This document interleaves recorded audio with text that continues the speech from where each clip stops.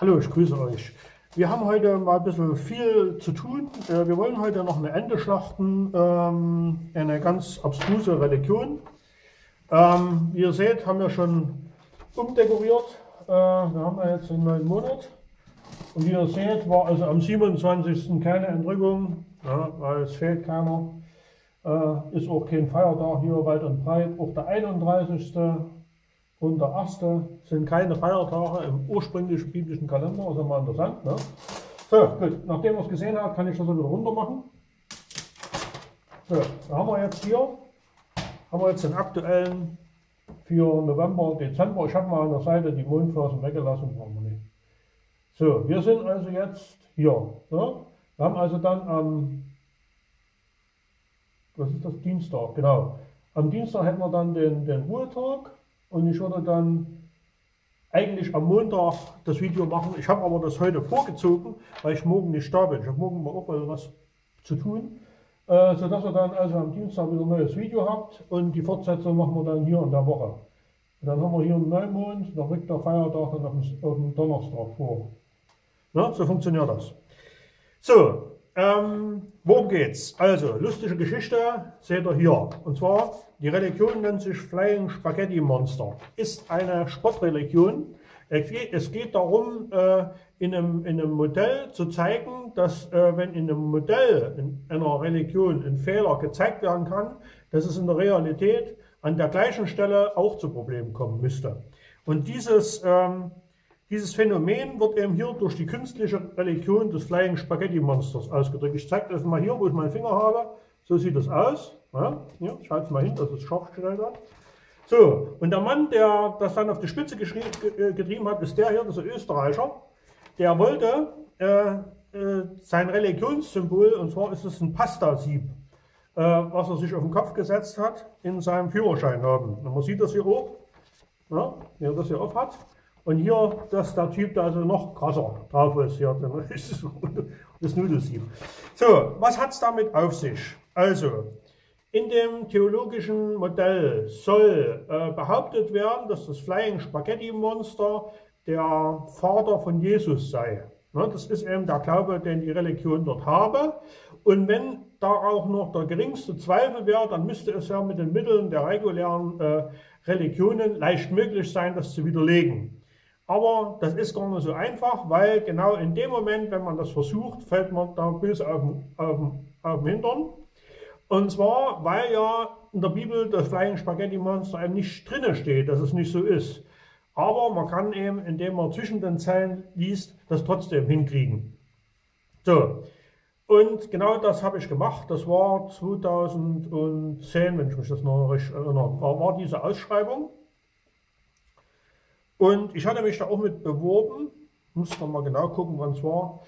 Ähm, und da lief das noch, also es wurden erst 25.000 Euro ausgesetzt, oder Dollar, 25.000 Dollar, Moment, Dollar was, ausgesetzt für den, der das Problem löst. Und das hatte keiner lösen können. Und da hat dann einer gesagt, wenn das jetzt schon die führenden Köpfe nicht schaffen, dann können wir ja eine Million machen. Und da haben sie das Ding dann auf eine Million erweitert. Und ich habe durch einen Zufall, ähm, durch eine Mail von einem Bekannten, eine, bin ich auf eine Webseite gekommen und in deren Werbung an der Seite, also die ist schon mal ständig ändert, da war dieser Link zu dieser, zu dieser Herausforderung. Und das, der Betreiber dieser Herausforderung war die Webseite Boing Boing. Das ist so ein, ja, ich sag mal, wie so eine frühe, frühe Form eines Internetblogs. Und der hatte äh, Sponsoren organisiert, die äh, das Geld zur Verfügung stellen sollten. So, und der amerikanische Theologieprofessor, der hat dann den Preis ausgeschrieben für denjenigen, der die Herleitung bringt. So, und das, ich hatte das gelesen, ich habe das wohl Vormittag bekommen und habe gesagt, also mit Bibelsprüchen und mit, mit guten Ratschlägen und Wünschen und so kann man, kann man dem, Problem nicht begegnen. Man muss es auf die gleiche Weise äh, erschlagen, wie man zum Beispiel mit der vollständigen äh, Induktion Probleme der Unendlichkeit behandelt. Weil da müsste ja der Mathematiker müsste in die Unendlichkeit reisen und gucken, ob das doch wirklich auch so ist, um irgendwas zu beweisen. Weil er muss es entweder formal beweisen oder muss es zeigen, die es Möglichkeiten gibt. Und zeigen geht nicht, dann müsste er in die, in die Zukunft reisen. Das heißt, muss also ein, formales, ein formaler Beweis angesetzt werden, der äh, widerspruchsfrei ist, der wiederholbar ist und äh, so eine Sache brauchen wir. So, da gibt es zum Beispiel in der Mathematik die, die, die Möglichkeiten, äh, das Gegenteil zu behaupten und dann zu zeigen, dass das Gegenteil falsch ist. Oder man macht eine Grenzfunktion und kann dann zeigen, dass es nicht darüber hinausgeht. Oder man, macht, man wendet Quantoren an. Quantoren sind also mathematische Ausdrücke, die genau eins, alle außer eins, alle oder so, also größere Mengen umfassen. Und die muss man aber sauber definieren. Ne? Da hängt dann auch äh, die Geschichte des Russellschen Paradoxon mit dahinter, das erkläre ich dann auch noch. Und so ein mächtiges Werkzeug braucht man natürlich auch in der Theologie. So, damit man sich nicht verhaspelt, habe ich als Modell dafür den sogenannten Herleitungsgrafen entwickelt. Was hieß entwickelt? Ich habe aus der Graphentheorie, wo man mathematische Probleme oder Probleme der Informatik äh, behandelt, das in die Theologie rübergeholt und habe dann gesagt, äh, wenn es zwei Knoten gibt, also zwei zwei äh, Behauptungen oder zwei Sachen, die zu beweisen sind. Und da kann man jetzt sozusagen eine Kante anlegen. Entweder es ist eine gerichteter Graph, also ein Pfeil dran. Dann kann man also die, die Herleitung von hier nach dort äh, zeigen. Oder man macht jetzt äh, die Herleitung über einen anderen Weg zurück. Ne? Und wenn man, wenn man das in beide Richtungen zeigen kann und beides wahr ist, kann man die, die gerichtete Kante durch eine ungerichtete ersetzen und sozusagen die beiden Probleme dann als bewiesen oder bereits hergeleitet äh, darstellen. Und man kann dann meinetwegen auf der Oberkante von dieser Kante dann den eine Beweisrichtung anführen, auf der Unterkante die andere, sodass man das also relativ schnell und problemlos zeigen kann. Und die heutige Computertechnik erlaubt es dann auch in 3D das darzustellen, sodass man also mit der Maus da jonglieren kann. Das ist also dann eine reine Frage, so einen Browser zu entwickeln für solche Herleitungsgrafen. Da habe ich äh, da auch eine, äh, das nur bis ins letzte ausprogrammiert, aber die, die grundlegende Idee dafür zur, zur Verfügung gestellt.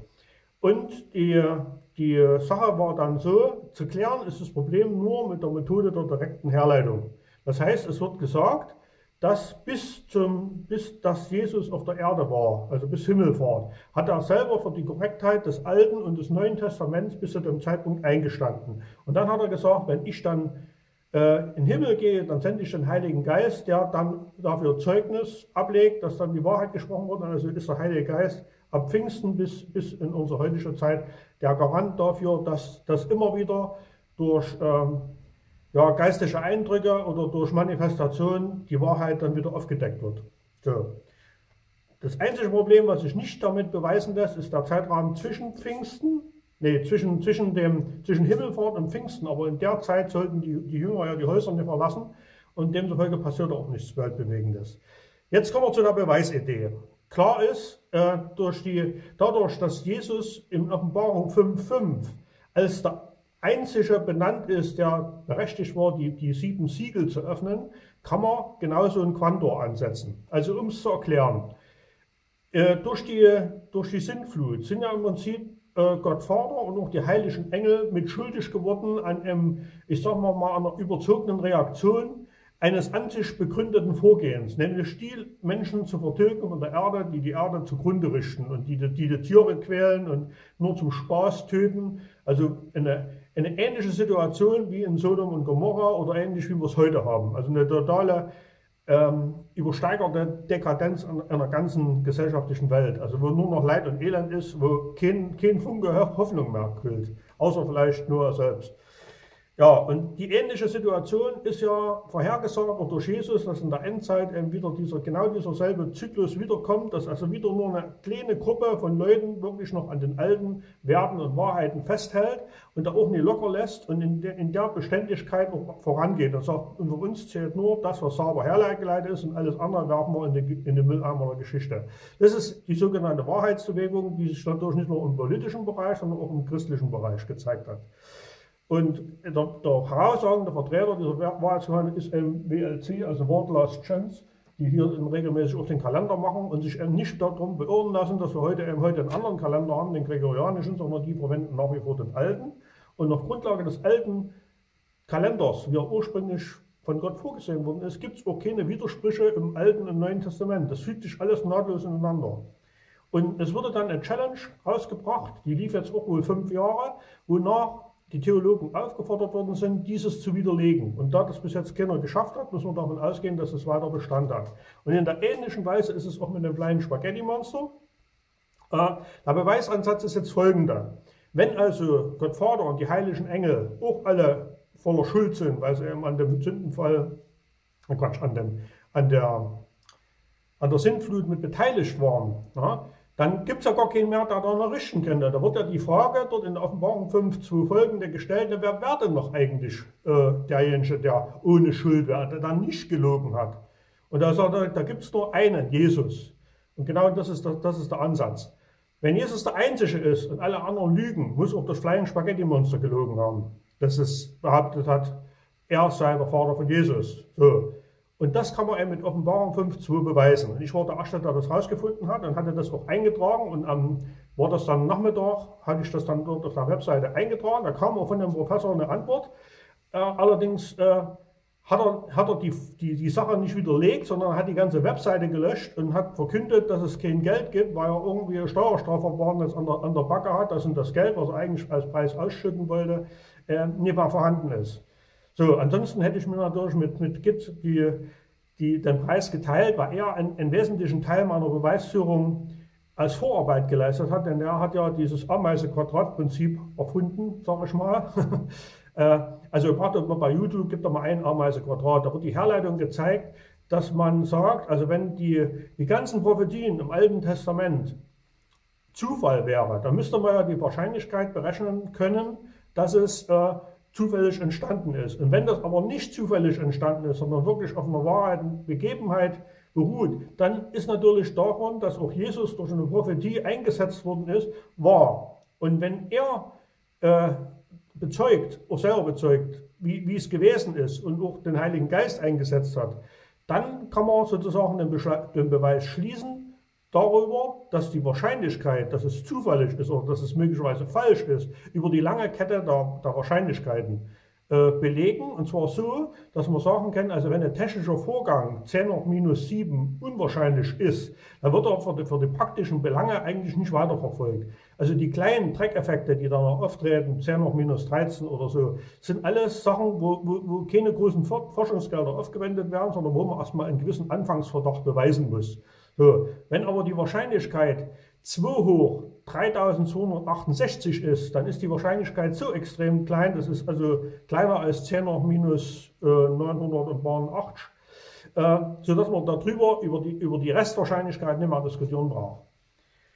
Das heißt, aufgrund der Vielzahl der erfüllten Prophetien kann man die Wahrheit schlussfolgern. Und zwar mit einer so großen mathematischen Wucht, das ist zwar nicht absolut, absolut 1 oder absolut 0, das Gegenteil, sondern das ist so entschieden nahe dran, dass man also äh, kein anderes Ereignis finden könnte, was, was, de, was das noch übertrifft. Und das war die Beweisidee, die daher zugrunde liegt. Und sie beruht darauf, dass man sagt, äh, Zufälle haben eine Wahrscheinlichkeit von 50-50. Man kann sich so überlegen, man nimmt einen Würfel und äh, sagt, wenn, äh, wenn man eine gerade Zahl würfelt, ist die Wahrscheinlichkeit 50-50. Ne? Also in 50% aller Fälle wählt man eine gerade Zahl, das ist also die, die 2, die 4 und die 6 und in allen anderen Fällen eine ungerade Zahl, äh, 1, 3 und 5. So, wobei der Fall, dass der Würfel runterfällt oder Kippe steht, mal außen vor lässt. Also gültige, gültige Würfelvorgänge müssen es sein. Und wenn man das beliebig lange macht, wird man feststellen, dass es sich bei einem ungezinkten Würfel, vor allen Dingen beim mathematisch definierten Würfel, genau auf 50% sich einpegelt. So, und damit kann man sagen, das ist ein Zufallsprozess. Und wenn das sehr weit nach unten oder sehr weit nach oben abweicht, also sehr viele gerade Zahlen kommen oder sehr viele ungerade Zahlen, würde man darauf schließen können, dass der Würfel gezinkt ist. So, das ist also ein, ein, Fall, der günstiger liegt als der Zufall. Und wenn also gesagt worden ist, dass jede Prophetie nur mit dem ungünstigsten Fall angenommen wird, also eben, dass es Zufall ist und, und alle äh, wesentlich unwahrscheinlicheren Fälle dann in den günstigen Bereich fallen, hat man also eine obere Schranke, äh, sozusagen ein mathematisches Beweisverfahren, die nicht überschritten werden kann, weil zufällig aus der Zufall kann es nun mal nicht werden. Und äh, diese Schranke ist aber so tief und so weit unten, dass, dass die Betrachtung dessen, was da noch unterhalb dieser Schranke ist, keine, keine Relevanz hat. So, damit ist der Beweis zugeschlossen gewesen. Ja, und jetzt ist die Frage, was hat denn nun die sogenannte Pastafari-Bewegung alles so noch gemacht? Also es gibt dann auch noch eine Kirche, es gibt auch ein paar Spottbilder, zum Beispiel hier unten, das, das hier, seht ihr das hier? Da steht drauf, uh, he is spoiled for, for our sins. Ja, also er, er wurde abgekocht aufgrund eurer Sünden. Und das ist natürlich eine Blasphemie, ähm, weil die religiösen Gefühle, die nun mal viele unter uns haben, eben damit verletzt werden. Und es war natürlich für mich eine Herausforderung, das Ding äh, zu erschlagen, weil ich nun mal hm, in gewisser Weise ähm, das als Sport empfinde, solche Enten zu schlachten.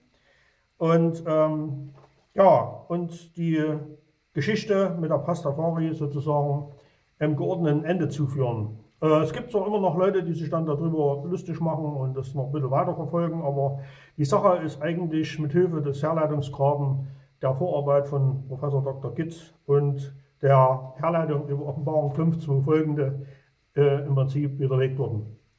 So, gut. Ähm, insofern gibt es also jetzt nur noch die abgewandelte Form des Pasta-Siebs, also weil wir die Religion der Pastafari plattgeschlagen haben. So, kleiner Schatz.